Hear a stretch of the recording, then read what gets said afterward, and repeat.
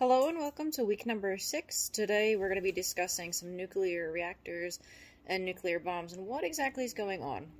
So I'm going to preface this by saying you can't necessarily make a nuclear reactor at home. However, there have been Boy Scouts that have done it.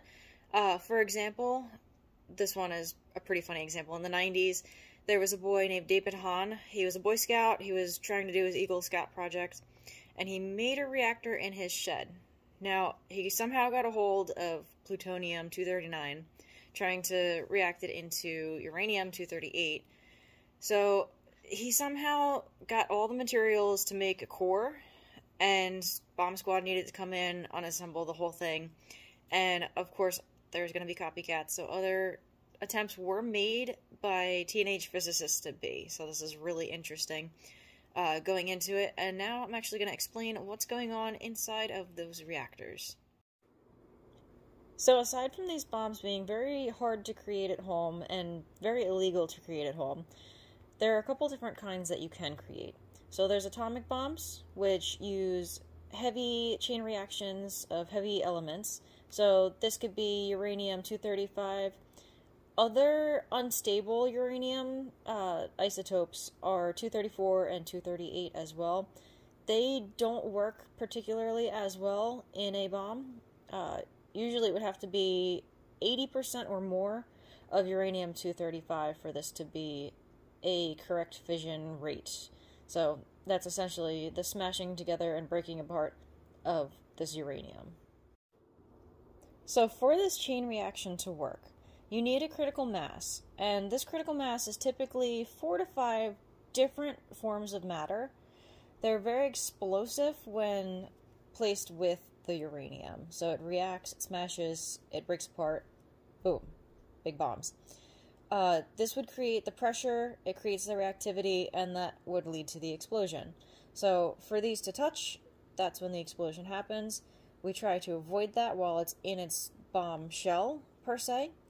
So when the bomb is dropped, it is reacted. Everything kind of falls into place, and it happens rather quickly, and that's what creates such a devastating blow. Now, hydrogen bombs, on the other hand, they create more of a thermonuclear fission. So, usually they would use deuterium and tritium. They would react with the hydrogen. It's a lithium hydride uh, combination mixture this is integrated in the nuclear device, or the integrated nuclear device, depending on what source you're finding. This creates the explosion. So, for that to touch, that is what would create the explosion in this kind of bomb. So, this is also how the sun does it. The sun uses uh, hydrogen and helium as it combusts. I would also like to add that hydrogen bombs can be basically limitless on their power and explosiveness as such as the Fat Man and Little Boy dropped on Hiroshima and Nagasaki uh, back in 1945 during the World War II. That could have been much worse should they have dropped, let's say, a much larger bomb on those areas. They actually had another one in tow, but then Japan decided that it was going to surrender before that even happened, which is probably for the better. Yeah. Rather than drawing out all of this, I decided that I would pull up an image. So, like I said, we usually use uh, deuterium, tritium, and then we would have our helium or hydrogen core.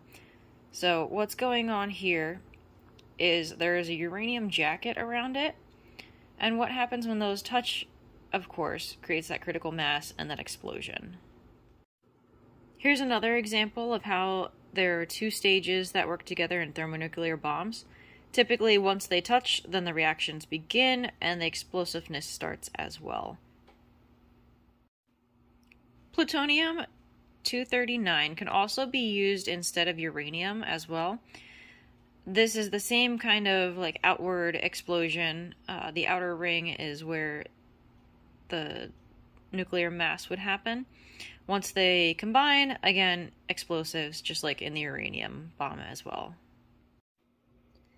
Interestingly enough, using nuclear power as a source of energy as opposed to using fossil fuels, coal, you name it, is actually safer and more reliable as a source of energy.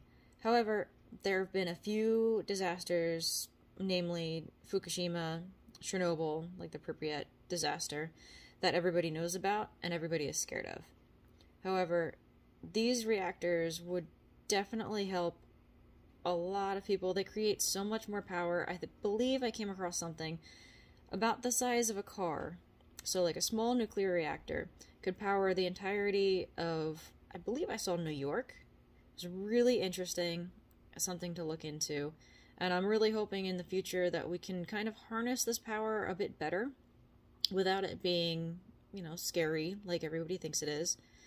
And hopefully without using these as weapons of massive destruction.